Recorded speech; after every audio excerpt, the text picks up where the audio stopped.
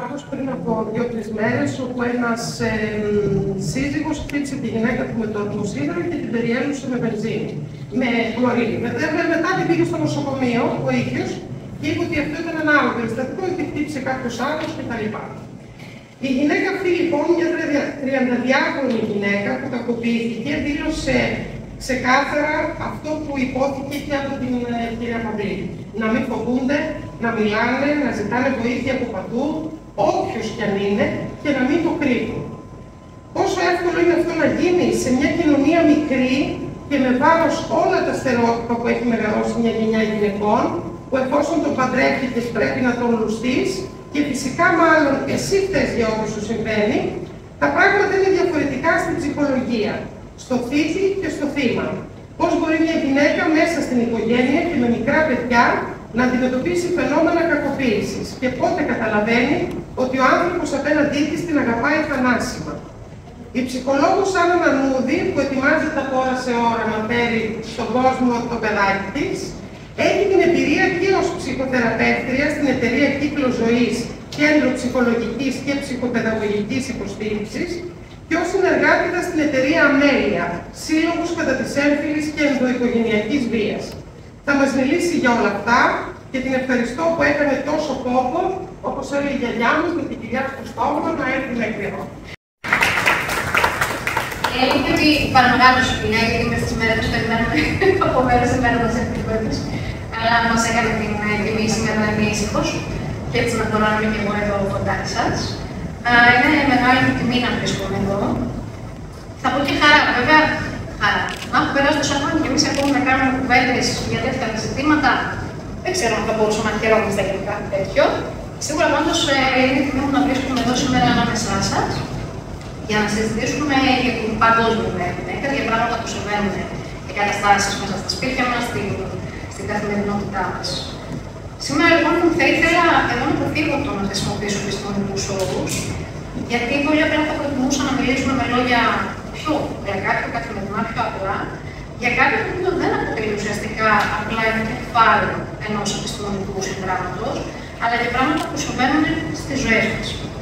Θα μιλήσουμε λοιπόν για διάφορα πράγματα έτσι όπω το συζητήσαμε και με την Άννα Μαρία, για τη θέση που έχει η γυναίκα στον κόσμο, για τον φόβο όλων μας, τι γυναικοκτονίε, αλλά και για πιο πραγματικά δεδομένα τα οποία αντικατοπτρίζουν ουσιαστικά αυτό το οποίο βιώνω εγώ μέσα στη δουλειά μου ως ψυχολόγο που δραστηριοποιείται εδώ στην περιοχή μας.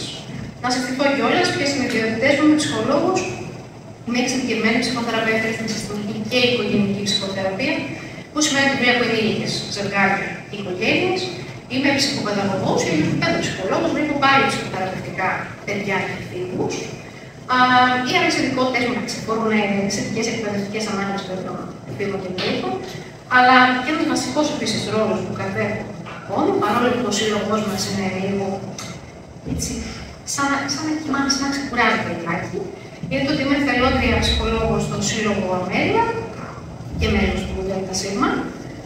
Και παρόλο που ο Σύλλογος για διάφορους λόγους τα προηγούμενα χρόνια έχασε στέλνη του, προσπαθούμε να του παρέχουμε στέλνη μέσα από το δικό μου το γραφείο σε όλα αυτά τα άτομα που έρχονται και ζητάνε την βοήθειά μας. Λοιπόν, οπότε με αυτούς τους ρόλους θα προσπαθήσω να σας πω κάποια πράγματα που βλέπω και εγώ στην καθημερινότητά μου. Είναι και αυτό λοιπόν που είπα πριν, το ότι ενώ έχουν περάσει τόσα χρόνια από την αναγνώριση της ισότητας των φύλων, χρειάζεται ακόμη να διεκδικούμε όλες οι γυναίκες προνόμια και οι ειδικότητε, εγώ θα βάλω μέσα, όχι μόνο οι γυναίκες.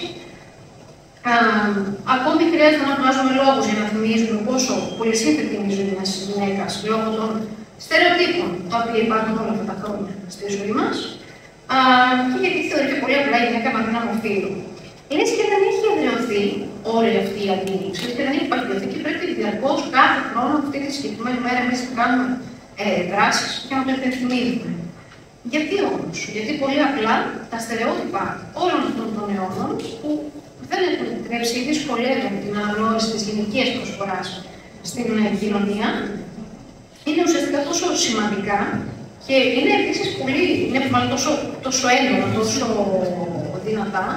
Και αυτό το οποίο διαπιστώνω εγώ με μεγάλη μου λύπη είναι ότι βλέπουμε ακόμη και σε παιδιά και σε φίλους, γιατί εγώ δουλεύω πάρα πολύ με φίλους, να υπάρχουν αντιλήψεις οι οποίες είτε είναι απαρχαιωμένε, είτε είναι άλλων, ε, από άλλες κουλτούρες.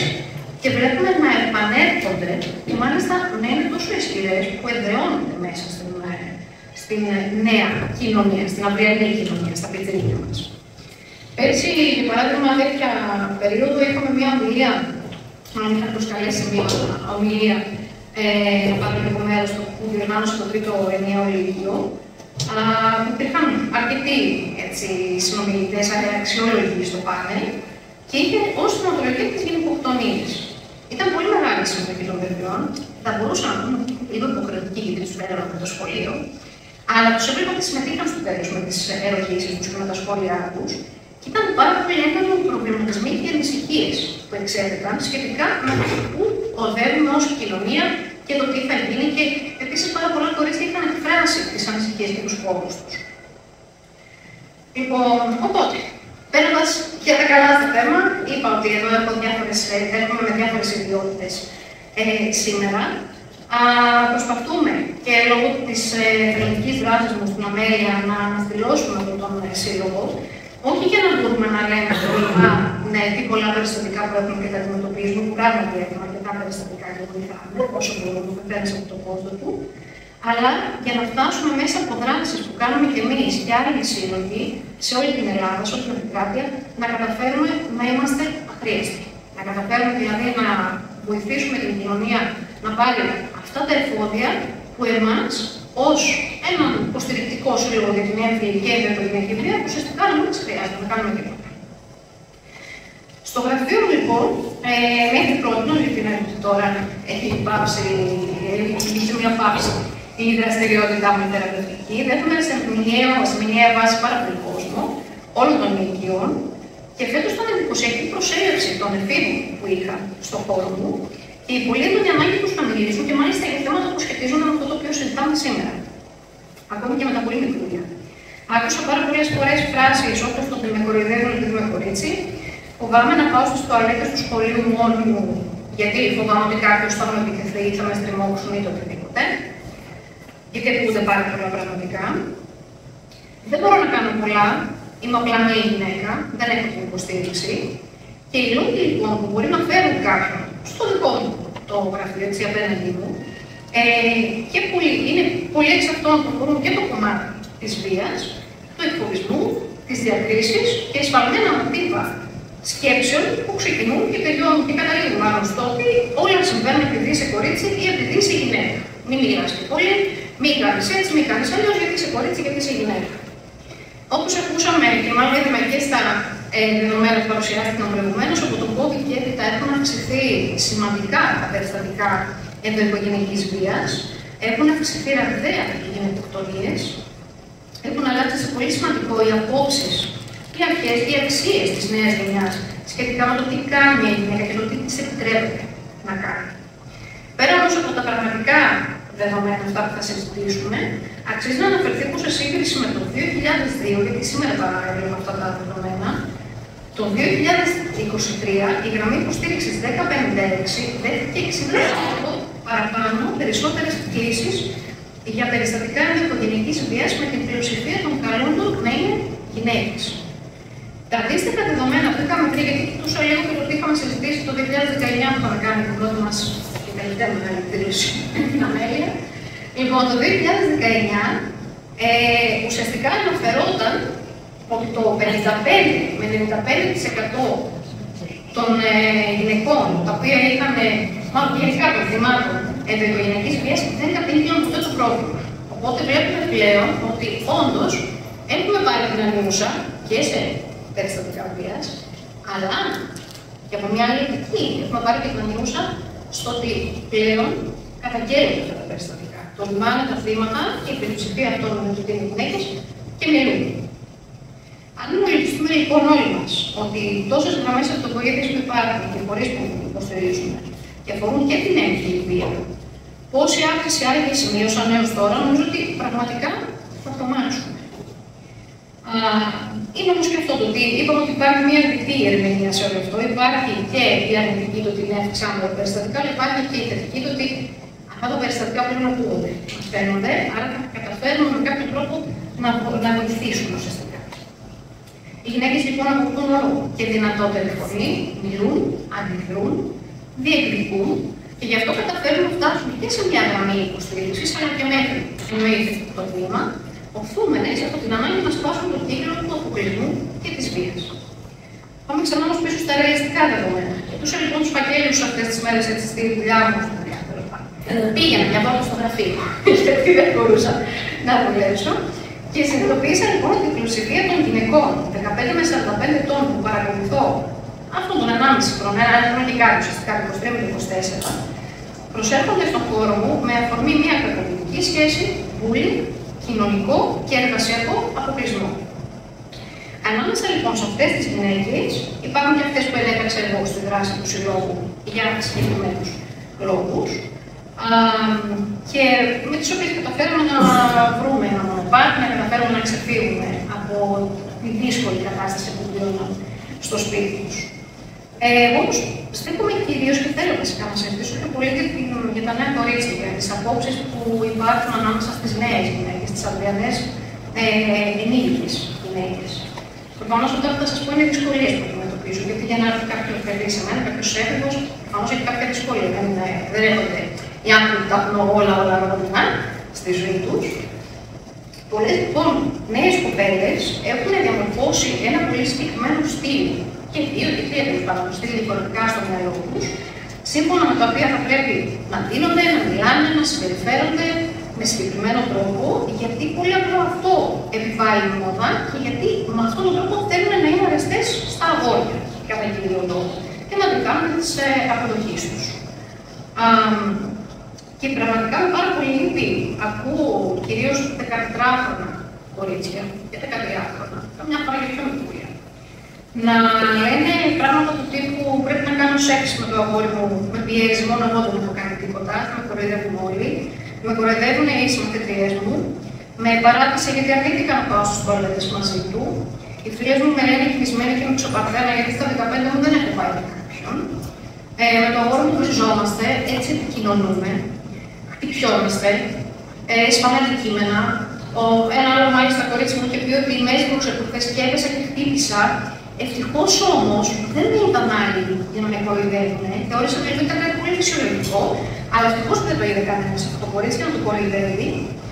Και γενικότερα μπορεί όλα αυτά να μας φαίνονται έτσι λίγο περίεργα σαν φράσεις, αλλά είναι πράγματα τα οποία αντικατοπτρίζουν την πραγματικότητα και τα βιώνω και εγώ δυστυχώς καθημερινά στη δουλειά μου.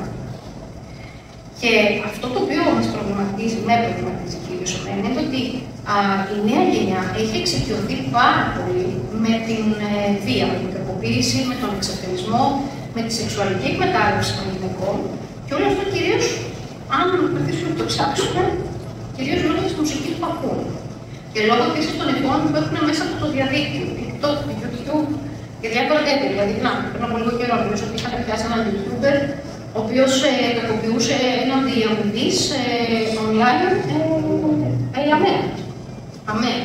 Οπότε φανταστείτε πόσα ακόμη πράγματα μπορεί να συμβαίνουν.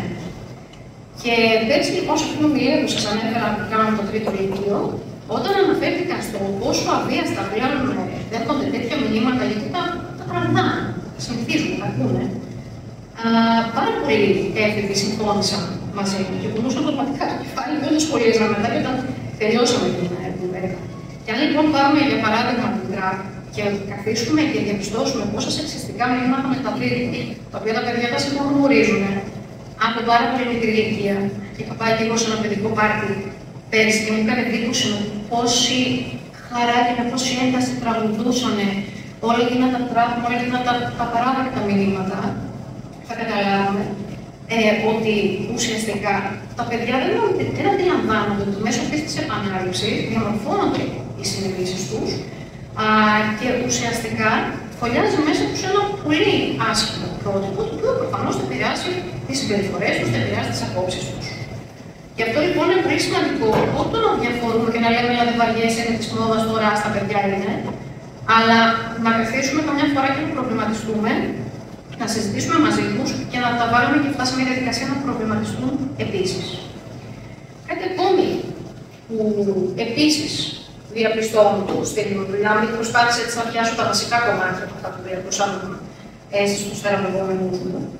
ε, είναι το ότι όλο αυτό που θεωρούσαμε σχετικά με το πρόσωπο του θήτη και του θύματος, ότι υπήρχε κανονικά μόνο στις βιβλιογραφικές αναφορές και δεν ήταν πάντα έτσι. Βλέπουμε ότι επαληθεύεται, αλλά χρόνο με τον χρόνο προστίθεται και νέα χαρακτηριστικά στο προφίλ του θήτη και του θύματος. Γιατί πλέον βλέπουμε ότι ως θήτης αλλά και ως θύμα μπορεί να είναι και ένα άτομο υψηλότερου μορφωτικού και κοινωνικού επίπεδου. Και πιο αναλυτικά θα μπορούσαμε να πούμε ότι σίγουρα δεν είναι ένας άνθρωπος, ας πούμε, να μιλήσουμε για το θήτη. Θήτης δεν είναι απαραίτητα ένας άνθρωπος ο οποίος έχει μια διαρκώς βίαιη ε, μορφή. Μπορεί να είναι και ένας άνθρωπος όπου είναι ένας φιλήσυχο, το που λέμε ο άνθρωπο τη δίπλα της πόρτας, δεν έχει δώσει ποτέ δικαιώματα που έχουμε βαρεθεί να το πούμε στις κρίσεις. Μπορεί να έχει λοιπόν μια βίαιη συμπεριφορά εντός σπιτιού ή μέσα σε μια σχέση, αλλά σε όλα τα υπόλοιπα πλαίσια, κοινωνικά πλαίσια στα οποία περιφέρεται, να έχει μια αξιοπρεπέστατη πολύ, πολύ καλή εικόνα. Να είναι affectικό, να είναι ζηλιάρη, να είναι affectικό, να είναι απόλυτο, να είναι ελεγκτικός. Μπορεί να είναι ένας άνθρωπος ο οποίος ε, θέλει να παίρνει αποφάσεις για τα πάντα χωρίς να υπολογίζει και να υποτιμά ε, και, και υποτιμώντας τους ρόλους που έχει ο άνθρωπος που είναι δίπλα του, είτε είναι το φίλο του, είτε είναι ε, το επάγγελμά του, είτε είναι ο γονικός του ρόλος, ο γονικό του ρόλος.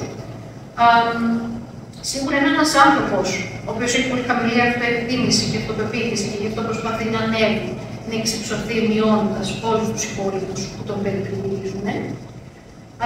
Κάποιοι άνθρωποι αναγνωρίζουν τις πράξεις τους, κάποιοι από του θύτε, μπορεί να αναλάβουν κάποιες μικρές ευθύνες, αλλά σίγουρα πάντοτε θα φταίνουν οι άλλες, οι άλλοι, η άλλη πλευρά και πάντοτε θα τους έχουν προκαλέσει.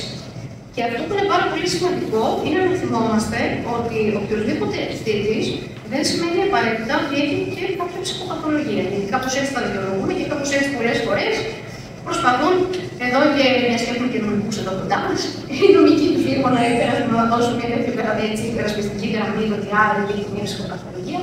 Αλλά βλέπουμε ότι δεν είναι η βασική δύναμη να καταστεί κάποιος θήτη. Σε όλα λοιπόν αυτά που ανέφερα πριν, να πούμε ότι ναι, είναι πλέον και άνθρωποι υπεράνω βάση υποψίας, με υψηλή θέση στην κοινωνία, αλλά με πολύ χαμηλή θέση στην κατάταξη της ανθρωπιάς αλλά και της ενσυναίσθηση. Στον αντίποτε, ποιος μπορεί να είναι πλέον ένα θύμα, οποιοδήποτε νομίζω, οποιοδήποτε από εμάς, οποιαδήποτε γυναίκα από εμάς, οποιαδήποτε γλυκότητα που κυκλοφορεί πλέον έξω. Γιατί, γιατί πολύ απλά μαθαίνουμε κιόλας ότι κάποιες συμπεριφορές πρέπει να τις ανεχόμαστε, γιατί έτσι συμβαίνει στην κοινωνία μας, γιατί έτσι γίνεται με τις γυναίκες. Μπορεί να είναι κάθε ηλικίας, μπορεί να έχουν, ε, μια, να έχουν αναπτύξει εξαρτητικές σχέσεις και να θεωρούν ότι δεν μπορούν να σταθούν μόνοι τους στην κοινωνία έξω, να νιώθουν διαρκώς ντροπή, ενοχές και να έχουν την αίσθηση ότι αυτές προκαλούν τις συμπεριφορές που εισπράττουν τελικά πίσω εκλογικεύουν τις καταστάσεις και πολλές φορές δικαιολογούν τις συμπεριφορές που εισπράττουν. Και αυτό με εντυπωσιάζει ε, ιδίως στις Έλληνες, όπου θεωρούν ότι πρέπει να παραμένουν σε σχέσεις όπως τις αποκαλούν πλέον κατά κόρον τοξικές. Γιατί, γιατί πρέπει να έχω μια σχέση, γιατί θα με κοροϊδεύουν, γιατί δεν πρέπει να είμαι μόνη μου και πού θα ξαναδώ άλλον. Οπότε σκάτσω εγώ σε μια σχέση που με 15 χρονών και τρώω και ξύλο και κακοποιούν. Και είναι πραγματικά πάρα πολύ εντυπωσιακό το ότι δυστυχώς δεν αποτελεί μεμονωμένα περιστατικά. Αρχίζουν και αυξάνονται. Υπάρχουν επίσης άνθρωποι που αρνούνται να αποδεχτούν την κατάσταση στην οποία βιώνουν για πάρα πολλούς προσωπικούς τους λόγους. Μπορεί έτσι να έχουν διαμορφώσει ένα δικό τους αξιακό σύστημα, γιατί έτσι μεγάλωσαν μέσα στα σπίτια και στις οικογένειές τους. Μπορεί να φοβούνται ότι θα μείνουν μόνοι τους. Εγώ, ας πούμε, και επειδή δεν μπορώ να χωρίσω από τον Νίκο, για παράδειγμα, γιατί έτσι μετά θα βγω από την παρέα και θα είμαι ολομόναχη. Οπότε θα το, θα το υποστώ αυτό για άλλα δύο χρόνια μέχρι να τελειώσω το Λύκειο. Και τελικά βλέπουμε ότι καταστρέφουν και τις ζωές τους και τους χαρακτήρες και τις προσωπικότητές τους. Και επίσης, λέω και αν πούμε για γυναίκες που είναι μέσα σε. έχουν δημιουργήσει την οικογένειά τους, μπορεί μια γυναίκα να μην είναι σε θέση να φύγει γιατί πολύ απλά θεωρεί πως πρέπει τα παιδιά να μεγαλώνουν με δύο γονείς, ε, ότι πρέπει να υποστώ όλο αυτό το μαρτύριο που μπορεί να περνάω για χάρη των παιδιών. Φυσικά όμως όλα αυτά περνάνε στα παιδιά και μετά τα παιδιά προσπαθούν να λύσουν ξανά τα δικά τους προβλήματα και βλέπουν ότι ανακυκλώνονται. Επίσης, πάρα πολύ σημαντικός λόγος για να κάνει ένα θύμα, να αφήσει μάλλον ένα θύμα στο να παραμείνει και στο να σιωπήσει και να μην φύγει, είναι το ότι υπάρχει πάρα πολλές φορές ο φόβος για αντίπεινα από τον δράστη, από τον πιθανό δράστη. Δηλαδή, μπορεί να πει ότι ξέρεις, αν φύγεις, θα σε σκοτώσω, θα σκοτώσω τους δικούς σου, θα σκοτώσω τα παιδιά. Ή επίσης αυτό που βλέπουμε ότι υπάρχει τώρα στα πιτσερίκια, υπάρχει πάρα, πάρα πολύ στους εφήβους και πλέον όταν μιλάω για έφηβου, δεν αναφέρομαι στην μικρή μα. Μιλάμε για παιδιά από 12 ετών και πάνω. Ότι ξέρεις τι, αν δεν κάνεις αυτό που σου λέω, ε, εγώ θα βγάλω στο ίντερνετ ε, τις φωτογραφίες σου. Θα βγάλω ή θα κάνω κάποιο έτσι σου, είτε όντως μπορεί να εκβιάζει και να παίρνει υλικό από το παιδί, με σκοπό να το αναγκάσει ή να το αφήσει να κάνει διάφορες έτσι πολύ άσχημε πράξεις. Αλλά αυτό πραγματικά είναι πάρα πολύ έντονο και το τελευταίο διάστημα είχε και αρκετά τέτοια περιστατικά μέσα στο γραφείο. Ξέρω λοιπόν αυτά που ανέφερα που πια να είναι τα ουσιαστικά τα χαρακτηριστικά του θύματος. Πάλι θα πούμε ότι μπορεί να είναι οποιαδήποτε γυναίκα που έχει φτάσει σε ένα σημείο λόγω πολλών καταστάσεων να μην μπορεί να σεβαστεί και να διεκδικήσει τις ανάγκες και τα θέλω της. Μπορεί να είναι και η κυρία της, η κοπέλα της διπλανή πόρτας, αλλά μπορεί να είναι και ένας μεγαλύτερο τέλεχος μιας πολυεθνική, μιας μεγάλης εταιρείας, αν φυσικά της έχει επιτραπεί λόγω του γενικής φίλου της να φτάσει σε αυτή τη θέση. Γιατί ενδεχομένως και να μην της Λοιπόν, δείτε όμως ότι κάποια στιγμή και αυτό το θέμα φτάνει σε μια στιγμή θάρρου, απίκμενη εσωτερικής δύναμης, παίρνει την απόφαση να μιλήσει, να αντιδράσει και να φύγει. Μπορεί άραγε να το επιτύχει αυτό. Εγώ λοιπόν θα πω ότι μπορεί. Και το έχουμε καταφέρει. Το έχουμε καταφέρει μάλιστα και μέσα της Αμέρια με, σε πολύ δύσκολες καταστάσεις. Με πάρα πολλούς τρόπους βέβαια, με πάρα πολύ υποστήριξη, δρώντα υπογείω, δρώντα κρυφά, για να καταφέρουμε να απελευθερωθούν κάποιοι άνθρωποι, αλλά χρειάζεται να κάνουμε να ακολουθήσουμε κάποια βήματα. Ποια είναι αυτά, εγώ θα σας πω και τα βήματα αυτά που αναφέρουμε και στα μέλη της ε, Αμέλη. Ότι προφανώς πρέπει να παραδεχτούμε την πραγματικότητα. Να πάψουμε να εθελοντηθούμε, να πάψουμε να πολεμόμαστε εντός πάρα πολλών εισαγωγικών, για να μην παρέμβει την εχθρία του κόσμου, και να συνειδητοποιήσουμε σε πόσο επικίνδυνη κατάσταση βρισκόμαστε να αναζητήσουμε βοήθεια και υποστήριξη από τις αρμόδιες υπηρεσίες, όπως είναι και η υπηρεσία που αναφέρθηκε, να αναζητήσουμε ένα υποστηρικτικό πλαίσιο στον κοντινό περίγυρο, να απομακρυνθούμε από ανθρώπους που ακυρώνουν τη δυσκολία της κατάστασης, ακόμη και αν μας λένε ότι δεν είμαστε οι μόνοι που το βιώνουμε, όπως είπε η Ανna Μαρία σε αυτό που είπε προηγουμένως, ότι ήταν επιλογή σου, κάτσε τώρα και λούσουτα και θα το υποστεί. Και εγώ θα ήθελα λίγο έτσι να, να μας βάλω σε μια διαδικασία να σκεφτούμε πόσες φορές έχουμε ακούσει από μικρά ε, και συνεχίζουν το από τα πιτσερίλια, ότι για παράδειγμα ε, ο Κωστάκης τραβάει τα μαλλιά της Ελενίτσα επειδή την αγαπάει, σε αγαπάει να αγαπούν, γι' αυτό έρχεται και σε χτυπάει στα διαλύματα. Και πόσο άραγε με τέτοιες κουβέντες ε, περνάμε στα παιδιά μας, πόσα στερεότυπα περνάμε, το ότι ξέρεις τι, ένας άνθρωπος ο οποίος σε αγαπάει μπορεί και να σε κακοποιεί, μπορεί να σε μηδενίζει, να σε εξευτελίζει, και πόσο όλο αυτό αναπαράγεται έτσι και να κυκλώνει από γενιά σε γενιά. Σίγουρα χρειάζεται να προετοιμάσουμε με πάρα πολύ προσοχή τη διαδικασία της εξόδου από τη σχέση, να μην κάνουμε σπασμωδικέ κινήσει, διότι η ασφάλεια υπερέχει, να καταφέρουμε, να μάλλον προσπαθήσουμε να κοινωνικοποιηθούμε και να δημιουργήσουμε υποστηρικτικά κοινωνικά δίκτυα.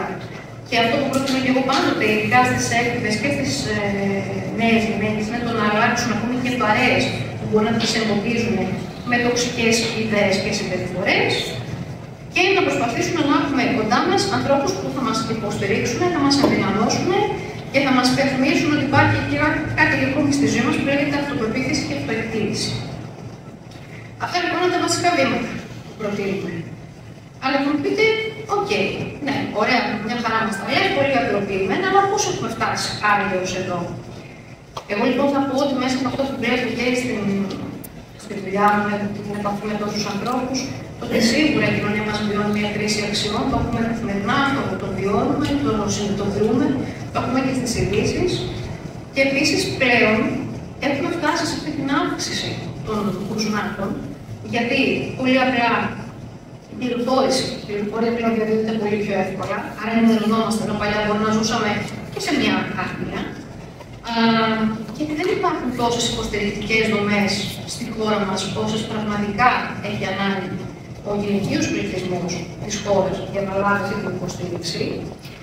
Γιατί πλέον δεν δεχόμαστε δικαιολογίες που πολλές φορές βέβαια δυστυχώς έχουν ένα παράγοντα στα μέσα του τύπου ότι τη σκότωσε γιατί την αγαπούσε, τη σκότωσε από το πολύ βάθος. Αλλά λέμε ότι δεν τη σκότωσε επειδή την αγαπούσε, τη σκότωσε επειδή την μπορούσε. Και έχει αλλάξει λοιπόν η πολιτική μας πάνω σε όλα αυτά. Και γιατί πλέον οι γυναίκες τολμούν. Τολμούν να μιλήσουν, όπως είπα και νωρίτερα, τολμούν να διεκδικήσουν, τολμούν να αντιδράσουν, τολμούν να προσπαθήσουν να θέσουν τον εαυτό τους με, με, μια, με έναν διαφορετικό τρόπο μέσα στην κοινωνία, που θα φαίνονται και θα φοβούνται περισσότερο. Πριν λοιπόν σας είπα όμως για τη δύσκολη εικόνα της εφηβείας, των οποίων αναλύει γυναικών έτσι και ανδρών, δεν πρέπει όμως να γενικεύουμε, προφανώ από τα δύσκολα που θα αναφέρω. Σίγουρα όμως υπάρχει και θετική οπτική. Αν για παράδειγμα, να σας πω ότι σήμερα είδαμε πάρα πολύ χαρά ένα βίντεο να κάνετε στο YouTube που περιέχει ε, τα έχω υπό την παρακολούθησή μου, που γράψαμε ένα πάρα πολύ ομορφωτικό τους τραγούδι για τη θέση της γυναίκας και το πώς θα πρέπει να έχει φωνή στην κοινωνία. Και προφανώς αυτοί οι έφηβοι και οι έφηβες, γιατί συμμετείχαν και εγώ λίγοι κορίτσια, προσπαθούν να διαμορφώσουν, να αναδιαμορφώσουν τις απόψεις τους και ουσιαστικά να, να, να αρχίσουν να σκέφτονται με έναν διαφορετικό τρόπο και να το, διαδώσουν, να το διαδώσουν αυτό, ώστε και οι συνομιλικοί τους να αρχίσουν να φεύγουν από κακοποιητικέ σχέσεις και να αφήσουν πίσω μη λειτουργικές απόψεις. Βλέπω επίσης οργανώσεις να ιδρύονται, να ιδρύονται υποστηρικτικές δομές. Πληροφορήθηκα από τα μέσα και πριν από λίγο καιρό ότι ο Δήμαρχος μας ζήτησε, νομίζω, να δημιουργηθεί και ξενώνας, καταφύγιο. Ε; Τέλεια. Έκανα σχόλια, συγγνώμη. συγγνώμη. Αυτό ήταν μεγάλο και μεγάλο το είδα, γιατί με την αμέλεια ουσιαστικά μέσα από την εθελοντική δράση του κόσμου, ο χώρος που είχαμε κι εμείς ήταν ένα καταφύγιο. Δεν πειράζει, ας μην πάρουμε στο κεφάλι ότι είναι κάτι που πονάει, αλλά χαίρομαι πολύ που εδώ ο Δήμαρχό μας θα βλέπει διαφορετικά τα πράγματα και έχει άλλα πλάνα. Βλέπω λοιπόν προσπάθεια επίσης να αποδοθεί δικαιοσύνη, γιατί λέμε ότι κάπου λίγο το κάνουμε. Κάπου λίγο ίσω δεν αποδίδεται όπως θα θέλαμε εμείς τη δικαιοσύνη, αλλά αποδίδεται επίση με έναν άλλο τρόπο. Βλέπω επίσης να διαδίδονται ιδέες και δράσεις και ουσιαστικά όλο αυτό με κάνει λίγο πιο αισιόδοξη. Να βλέπω δηλαδή ότι υπάρχει σε αυτή την άκρη του τούνελ ένα φως. Τι μπορούμε λοιπόν να κάνουμε αν ξεκινήσουμε από τα σχολεία, από την εκπαίδευση, από την αντιμετώπιση του εκφοβισμού, από την δημιουργία υποστηρικτικών δομών, θα είναι όμως πιο εύκολα προσβάσιμε, όχι το να λειτουργούν. Α πούμε, στου Δήμου, το θεωρώ το μειονέκτημα είναι ότι οι δομές αυτές λειτουργούν μόνο πρωινές ώρες. Ενώ η ανάγκη ε, και κυρίως τα βία περιστατικά, τουλάχιστον εγώ αυτό που είχα διαπιστώσει από την αμέλεια, γίνονται το βράδυ. Που μπορεί κάποιος να έχει γυρίσει πιωμένο, να είναι κουρασμένος, ε, που θα πέσουν τα παιδιά για ύπνο, οπότε θα μαλώσουν και θα έρθουν πάρα πολύ εύκολα μόνο μα. Οπότε σίγουρα χρειάζεται να είναι πιο προσβάσιμες οι δομές και να μην περιμένουμε κάποια ΜΚΟ να δημιουργηθεί για να δράσει, αλλά να πάρουμε εμείς την απόφαση να δράσουμε, να κοιτάξουμε δίπλα μας, να καταγγείλουμε. Φυσικά πάντοτε να είμαστε προστατευμένοι κι εμείς, γιατί αυτό νομίζω ότι φοβίζει πάρα πολύ κόσμο το ότι αν κάνουμε καταγγελία, τι θα με για μένα. Και να δώσουμε γενικότερα μια χείρα βοηθεία στον πλανό μας με κάθε τρόπο. Γιατί σίγουρα το αξίζει κάθε ψυχή που βρίσκεται εκεί έξω και ταλαιπωρείται. Α ελπίσουμε λοιπόν ότι πραγματικά θα αρχίσουμε όλοι να βοηθάμε ένα τον άλλον, ε, ότι οι γυναίκε πλέον θα έχουν μια διαφορετική θέση μέσα στην κοινωνία και θα λειτουργούν και θα, θα περπατούν ελεύθερες και ασφαλώ χωρίς να πρέπει να κοιτάνε διαρκώς πίσω, χωρίς να περπάνε κλειδιά ανάμεσα στα χέρια τους. Και ότι αυτές οι συναντήσει που κάνουμε και σήμερα στο μέλλον δεν θα χρειάζεται να υπάρχουν, γιατί δεν θα χρειάζεται διαρκώ να υπενθυμίζουμε τα αυτονόητα. Αυτά από μένα. Ευχαριστώ πολύ.